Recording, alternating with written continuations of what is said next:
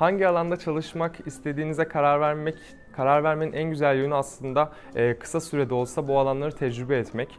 E, kendi tecrübelerimde e, üniversite hayatımda e, 4-5 farklı departmanı deneyimleme şansım oldu ve aslında günün sonunda e, bu tecrübelerden sonra insan kaynakları departmanında çalışmak istediğime karar verdim E, ve bu tecrübeler doğrultusunda alınmış bir karar olduğu için de e, şu an hiç pişmanlık duymuyorum ve gayet motive, mutlu bir şekilde çalışabiliyorum insan kaynaklarında.